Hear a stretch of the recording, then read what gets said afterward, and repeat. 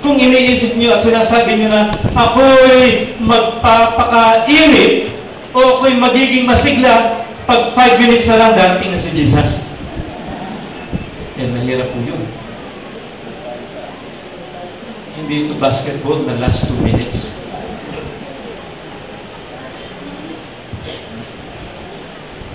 Hindi natin hawak ang ating buhay. Mari ngayon, masasaya tayo. Maya-maya, sabi sa Bicol, pigok na kita. Hindi natin hawak ang ating buhay. Ang kailangan mga kapatid, sa bawat segundo, sa bawat minuto, sa bawat oras ng ating buhay, tayo'y nakakawin sa kamay ng ating Panginoong Yesus. Ito ang ating kailangan. Maliban kay Jesus, wala tayong kaligtasan. Maliban kay Jesus, wala tayong katwiran. Maliban kay Jesus, wala tayong kabanalan. Kaya iniangat natin siya, itinataas natin siya, at ito mga kapatid ang tayong ating kailangan sa huling panahon ito. Kaya kayo ay aking inahamon. Kayo na narito at nakapagdiriwang sa ikaisandang anibersaryo ng iglesia ito. hinaharap natin ang isang dakilang umaga. Nasa bungad tayo ng walang hanggan. Nasa sa inyong desisyon kung hahawak kayo sa kamay ng Panginoong Jesus upang kayo aayin papasok sa bagong langit at bagong lupa. Ano po ninyo? Kahapon, may kukwento ko sa inyo, huwag niyo sasabihin sa iba mo, tayo lang. Huwag niyo pang isusumbog sa akin may bahay. Kasi po, kahapon, din, nandito pa rin yung anak ko, nakatingin sa akin. Kahapon po kasi, ako'y nagpunta sa isang lugar dyan sa kabila ng o de diretso ka sa Antipolo nagpunta ako. Kasama ko si Dan Smith. Kasama ko ang presidente ng South Central, kasama ko rin, ah, basta marami kami magkakasama. Si Pastor Dio Campo, AUP. Moises Dio Campo. Pagdating namin doon ay usap-usapan, ay maya-maya ay naghain sa amin ng napakasarap. Hindi ko ba? Talagang masarap. Napakasarap.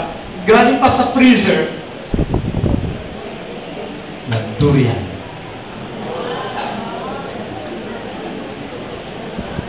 Eh, ako po kasi nagkaroon na ng karanasan eh. Tuwing ako'y pupunta sa MBC, papakainin ako doon ng maraming durian. Pagbalik ko dito, eh, talagang kung ano-ano nangyayari sa akin. Kaya sabi sa akin ng misis ko, iwasan mo ng durian. Umiiwas ako, pero kahapon, ako'y natukso. Durian, konti lang naman ang kinain ko. Pero alam nyo, kaya ko ito binanggit ay kasi, dyan sa Apokalipsis, Kapitulo 2, talatang 7, meron diyang binabanggit na isang bagay. Buksan nyo ang inyong mga Biblia. Apokalipsis 2.7. Ano ang binabanggit doon? Ah, isang puno. Punong kahoy ng buhay. At ito ay nasa gitna ng paraiso ng Diyos. Punong kahoy ng buhay na buwan-buwan. Mayroon siyang labing dalawang bunga na iba't ibang nakikita. Iniisip ko, marahil ang isang bunga doon ay durian. Hindi na kasi amoy ng durian dito. At marahil hindi na rin matinik ang balat. Durian. Gusto ko durian. Pero siguro ang iba sa inyo ang gusto ay atis, umara. Sino po sa inyo ang gusto ng prutas? Taas ang kamay. Yan. Kaya ko ito binanggit mga kapatid sa isang kadahilan lang. Nasaan ang pulong kahoy na yun ng buhay? Nasa gitna ng paraiso ng Diyos. Ang aking dalangin mga kapatid, samantalang tayo narito sa lupang ito, marami tayong karanasang madadaan.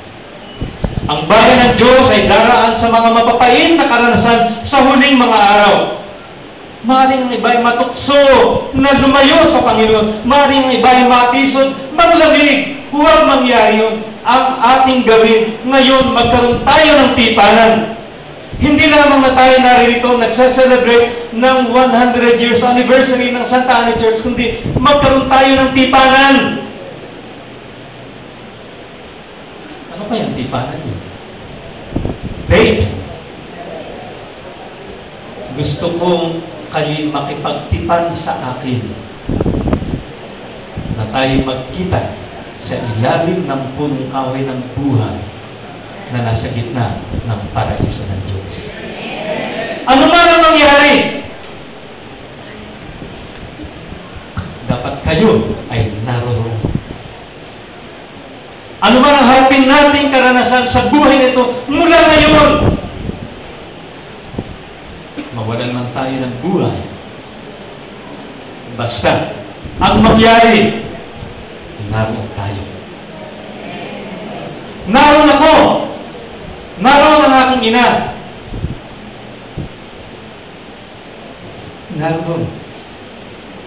Si Brother Regoso. Naroon si Mrs. Regoso. Let's be there. I want to be there. Ito na ba mga kapatid, ang ating maging kaisipan.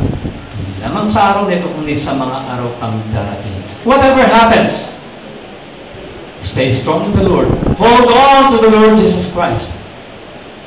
I'll meet you there. Doon sa ilalim ng punong away ng buhay na nasa gitna ng paraiso ng Diyos.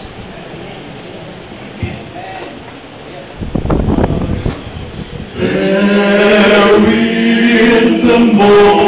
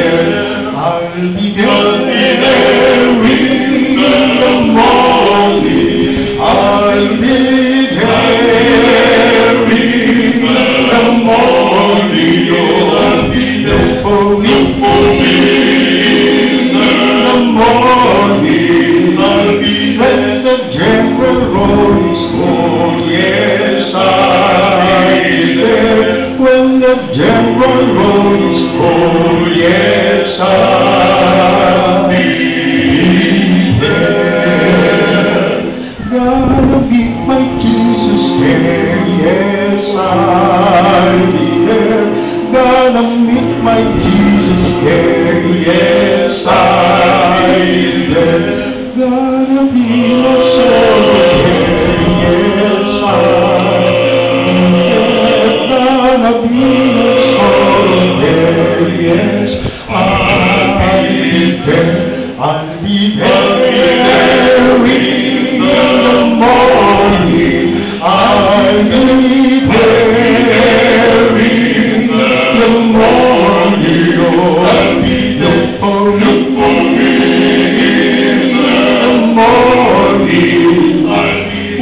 the General Royce, oh yes, I there when the General Royce.